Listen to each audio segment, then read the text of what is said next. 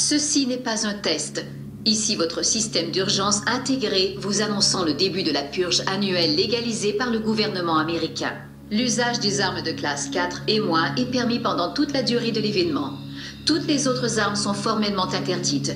Tous les membres du gouvernement bénéficient d'une immunité totale et ne doivent pas être visés.